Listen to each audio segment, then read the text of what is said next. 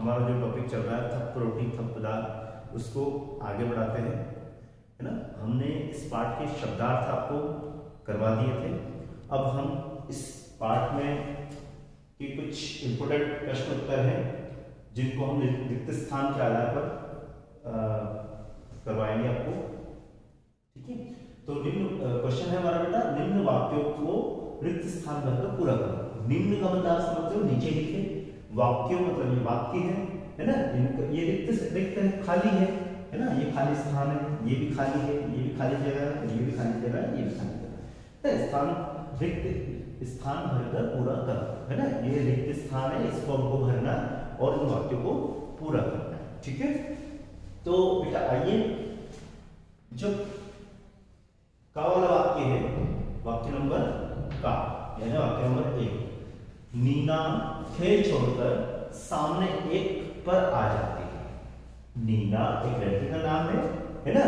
वो इस पाठ में जो बिल्ली बनी थी नीना नीना खेल छोड़कर सामने एक किस पर आ जाती है?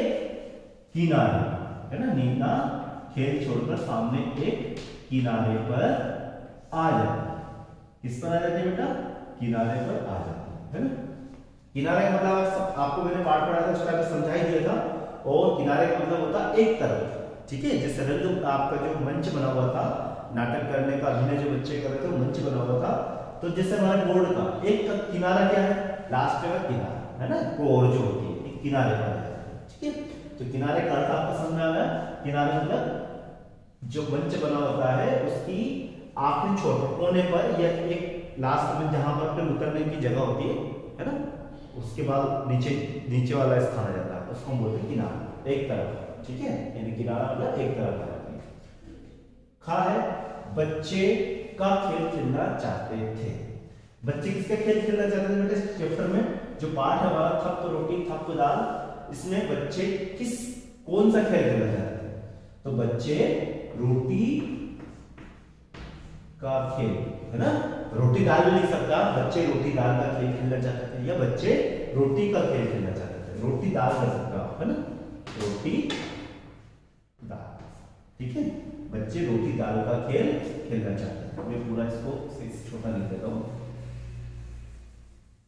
रोटी दाल, ठीक है? हम भी, आप भी जब छोटे बच्चे, अभी आप भी खेल खेलते होंगे, है ना? रोटी दाल। है ना? अलग अलग खेल होता है, लेकिन जिस चैप्टर में रोटी दाल का खेल खेलना चाहते थे, ठीक है? बच्चे रोटी दाल का खेल खेलना चाहते थे। फिर है गावा, चुन्नू, टिंकू, पर बोझ रखे हुए आते हैं। चुन्नू और टिंकू इस पाठ के किरदार है है ना? वो क्या लेने जाते हैं बेटा?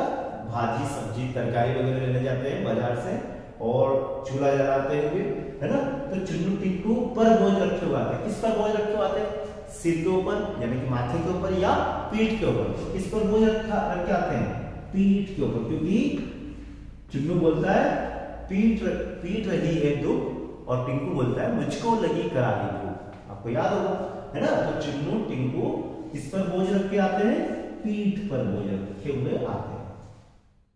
फिर अगला है, नीना बनकर सारी चीज़ें खा जाती क्या बनकर चीज़ें खा जाती नीना बनकर नीना बिल्ली बनकर, है ना? नीना क्या बन जाती है बेटा? बिल्ली। है ना? नीना बिल्ली बनकर सारी चीज़ें खा जाती है। ठीक है?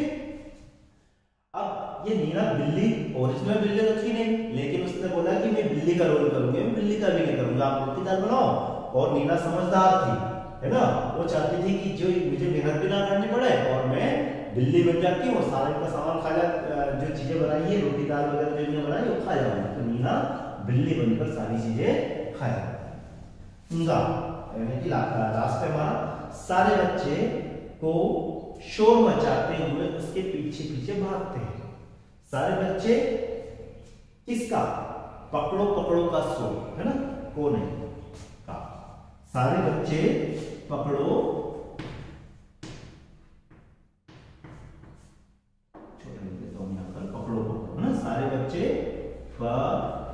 पकड़ो है ना? पकड़ो दो बार पकड़ो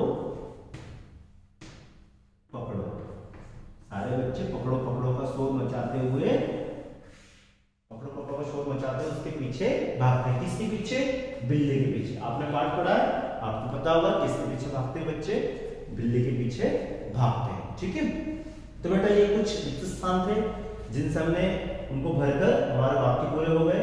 आपको अपनी कॉपी में नोटबुक में हिंदी की इसको ऐसा एज नोट करना है और आपको इनको दो से तीन बार पढ़ना है और हर शब्द के ऊपर आपको ध्यान देना है कि कौन सा शब्द क्या है। अगर ऐसे इसी में से मैं पूछूँगी, बेटा, इसमें नाम वाले शब्द कौन कौन से हैं?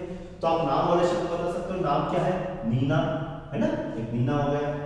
ठीक है? और इसमें होगा क्या नाम है? किनारे, किनारा, एक जगह का नाम है है ना? बच्चे बच्चे भी, हम बोलते हैं बच्चे भी नाम हो सकता है रोटी दाल, ये भी नाम है है ना? और चुन्नू, टिंकू, पीठ, ये हमारे शरीर का एक अंग होता है पीठ, उसका नाम है, ठीक है? नीना पीठ के नाम बिल्ली एक नाम है है ना? ठीक है, और ये ये सारे नाम ऐसे ही मैं आपसे बोलूँ, ये काम वाले शब्द तो ये सारी चीज़ें मैं आपको बाद में सिखाऊँगा। अभी आप रिक्त स्थान की पूरी पूर्ति करके वाक्य बनाना सीख गए, है ना? और इनको ध्यान से पढ़ना है, दो तीन दिन बाद आपको पढ़ना है। और पाठ के आधार पर इनके जो उत्तर है, यानी कि रिक्त स्थान, उनको भरना ठीक है? ओके बेटा थैंक यू